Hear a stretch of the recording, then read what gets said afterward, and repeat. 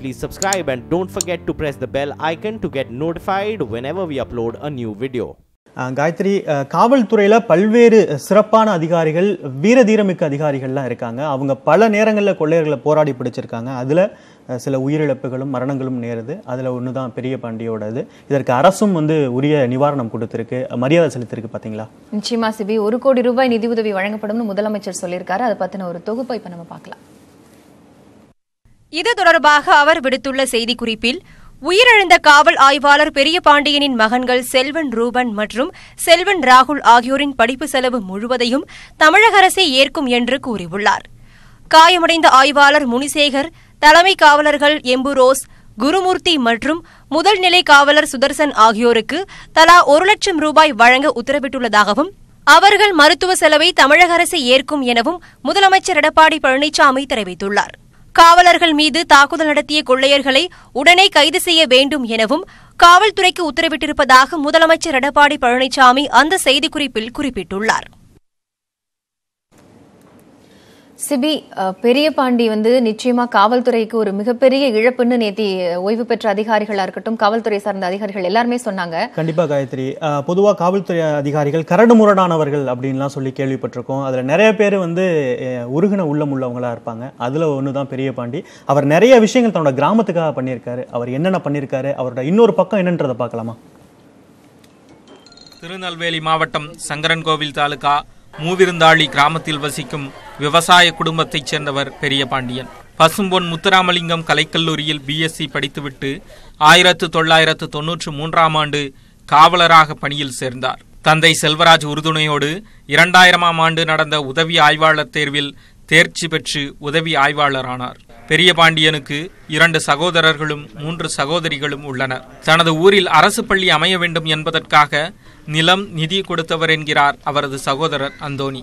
கடந்த அக்டோபர் மாதம் சென்னை மதுரவாயல் காவல் நிலையத்தில் சட்டம் ஒழுங்கு ஆய்வாளராக சேர்ந்தார். குற்றப்புலனாய்வில் திறன் வாய்ந்தவர் என்பதால் தனிப்படைக்கு தேர்வு செய்யப்பட்டு ராஜஸ்தானுக்கு அனுப்பப்பட்டார். ஆனால் இவரது ராஜஸ்தான் பயணம் ஆபத்தானது என்று அவரது மனைவி எச்சரிக்கை விடுத்ததாக சொல்கிறார்.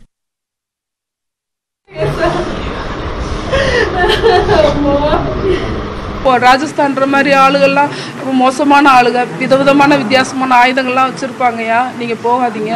ப்ளஸ் கூட ஒரு ஆயிரம் பேராவது ஒரு போலீஸ் நிறைய பேர் கூட்டு போங்க. இந்த மாதிரி எவ்வளோ பெரிய கொள்ளக்காரவன் நீங்கள் புரியாத இடத்துல போய் என்ன பண்ணுவீங்கன்னு நான் கேட்டிருக்கேன். அதுதான் தப்பு பண்ணிட்டாங்க. தமிழ்நாடு போலீஸில் இது ஒன்று பண்ணியிருந்துருக்கலாம். ஒரு நூறு பேரையாவது சேர்ந்து அனுப்பிச்சி விட்ருக்கலாம் ராஜஸ்தான்கார போலீஸ்காரங்க ஹெல்ப் பண்ணுறாங்கம்மா அதனால தான் நாங்கள் விட்டோம்னு சொன்னாங்க. இவரும் கொஞ்சம் ஆர்வத்தில் நிறையா பில்லிங்க எடுத்து தனியாக போயிருப்பாரோன்னு எனக்கு ஒரு பயம் இருக்கு. அவ்வளோதான் நாற்பத்தி ஒன்பது வயதான பெரிய பாண்டியனுக்கு இரண்டு மகன்கள் உள்ளனர் ஓய்வுக்கு பிறகு தனது சொந்த ஊரில் மீதமுள்ள காலத்தை கழிக்க திட்டமிட்டிருந்த பெரிய பாண்டியனின் கிராமம் தற்போது சோகத்தில் மூழ்கியுள்ளது. ஒக்கி புயல் பாதித்த பகுதிகளை பார்வையிடுவதற்காக ராகுல் காந்தி இன்று கன்னியாகுமரி வரவுள்ளார். கடந்த இருபத்தி ஒன்பதாம் தேதி கன்னியாகுமரி மாவட்டத்தை ஓக்கி புயல் தாக்கியதால் அங்கு கடுமையான சேதம் ஏற்பட்டது. பொதுமக்களின் இயல்பு வாழ்க்கை பாதிக்கப்பட்டதோடு மீன்பிடிக்க கடலுக்கு சென்ற ஏராளமான மீனவர்கள் இன்னும் கரை திரும்பவில்லை. மாவட்டம் முழுவதும் நிவாரணப் பணிகள் முழு வீச்சில் நடைபெற்று வந்தாலும் இயல்பு நிலை திரும்பு- திரும்புவதற்கு இன்னும் பல நாட்கள் ஆகும் என்று தெரிகிறது. இந்நிலையில் காங்கிரஸ் தலைவராக தேர்வு செய்யப்பட்டுள்ள ராகுல் காந்தி புயல் பாதித்த பகுதிகளை பார்வையிடுவதற்காக இன்று கன்னியாகுமரி மாவட்டத்திற்கு வருகை தருகிறார். திருவனந்தபுரத்திலிருந்து ஹெலிகாப்டர் மூலம் புறப்பட்டு காலை பதினோரு மணிக்கு தூத்தூரில் உள்ள யூதா கல்லூரியை வந்தடையும் ராகுல் காந்தி அங்கிருந்து கார் மூலம் சின்னதுரை மீனவ கிராமத்திற்கு சென்று ஒக்கி புயலால் பாதிக்கப்பட்ட மீனவர்களை சந்தித்து ஆறுதல் கூறவுள்ளார். மேலும் புயலால் பாதிக்கப்பட்ட விவசாயிகளையும் சந்தித்து ராகுல் காந்தி பேச உள்ளதாக காங்கிரஸ் கட்சி தெரிவித்துள்ளது.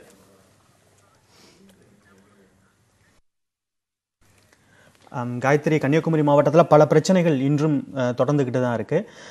அந்த பகுதியின் நாடாளுமன்ற பிரதிநிதியாக மத்திய அரசோட பிரதிநிதியாக பொன் ராதாகிருஷ்ணன் இருக்காரு. அவர்கிட்ட பல கேள்விகளை வெல்லும் சொல் முன்வைத்திருக்கு. அந்த கேள்விகள்லாம் என்ன? அதுக்கு என்ன பதில் சொல்லியிருக்கான்றதை பார்க்கலாமா? தேர்தல்களில் அதற்கு முன்னாடி நீங்கள் நின்ன தேர்தல்கள்லாம் கடலோர பகுதிகளில் பாரதிய ஜனதா கட்சிக்கு வாக்கு விழாது. இந்த முறை எங்கள் பகுதியிலிருந்து நம்பி வாக்களித்தோம். ஆனால் எங்கள் பிரதிநிதி வரல. நான் தான் சொல்கிறேன்ல பத்தாயிரத்துக்கு மேற்பட்ட வாக்கள் போட்டிருக்கேன்னு சொல்கிறேன்ல ஆனாலும் கூட நான் இன்னொன்று சொல்கிறேன் போட்டாலும் போடாட்டாலும் இப்போ எல்லாரும் வந்து போட்டாங்கன்னு சொல்ல முடியாது. போடாமல் இருந்திருந்தாலும் கூட என்னுடைய கடமை என்னுடைய மக்களுக்கு இந்த பொறுப்பு இருக்கும் வரைக்கும் நான் முழு அளவில் எல்லாரையும் சமமாக மதித்து நடக்கக்கூடியவன். நடக்க வேண்டிய கடமைப்பட்டவன் நடந்துகிட்டு இருக்கக்கூடியவன். அதனால் நான் இங்கே போக முயற்சி பண்ணுறேன் பல ஊர்களில் வந்து இப்போ வேண்டாம் கொஞ்சம் பிரச்சனைகள் இருக்குது இப்போ வேண்டாம் பிரச்சனைகள் இருக்குதுன்னு சொல்லி சொல்கிறாங்க பல பேர் தொடர்பு கொள்ளதுக்கு நான் அந்த நபர்கள்லாம் சொல்லதுக்கு நான் விரும்பலை. முயற்சி பண்ணுறோம் அவங்களே வந்து வர வேண்டாம் வரக்கூடாது. ஏன்னா ஏஐ திருநாள் வரல அப்படின்னு. சில இடங்களில் மீறி போகிறதுக்கு எனக்கு ஆசை. ஆனால் என்ன ஆகும் அப்படின்னு சொன்னதுன்னா சில விரும்பத்தகாத சம்பவங்கள் அங்கே நடந்துன்னு சொன்னால் அதனுடைய ரியாக்ஷன் வந்து மற்ற இடங்களில் பிரதிபலிக்க ஆரம்பிக்கும். அது அரசியல் ரீதியாகவோ மற்ற ரீதியாகவோ பிரதிபலிக்க ஆரம்பிக்கும். அப்படி வந்துன்னு சொன்னாங்கன்னா மீண்டும் ஒரு பிரச்சனை கலவரமான ஒரு சூழ்நிலை ஏற்பட்டு விடக்கூடாது. என்னுடைய சிந்தனை முழுக்க முழுக்க மீனவர்கள் பாதிக்கப்பட்டுக்கிறாங்க மற்ற மக்கள் பாதிக்கப்பட்டுக்கிறாங்க. இப்போ நம்முடைய மனதில் இருக்க வேண்டியது குவிந்த சிந்தனை. நம்முடைய கவனம் முழுக்க முழுக்க பாதிக்கப்பட்டிருக்கக்கூடிய மீனவர்களை எப்படி காப்பாற்றுறது அவங்கள எப்படி மீட்டு கொண்டு வர்றது? விவசாய மக்களுக்கு எப்படி வந்து மீட்டு கொண்டு வருது அவங்களுக்கு இழப்பீடுகள் எப்படி கொ- பண்ண முடியும்? இதை பற்றி தான் நம்ம சிந்திக்கணுமே ஒழிய இது வந்து ப்ரிஸ்டீஜான ஒரு விஷயம் கிடையாது. நான் இதில் மீறி போயிட்டேன். அரசியல் பண்ணணும்னு நான் நினச்சிருப்பேன்னு சொன்னால் இதையெல்லாம் மீறி நான் போவேன். அங்கே ஏதாவது சம்பவம் நடந்துன்னு சொன்னாங்கன்னா அதில் வந்திருக்கக்கூடிய விளைவுகள் நாளைக்கு அடுத்தால கேட்பாங்க இவர் எதுக்கு அங்கே போனார்?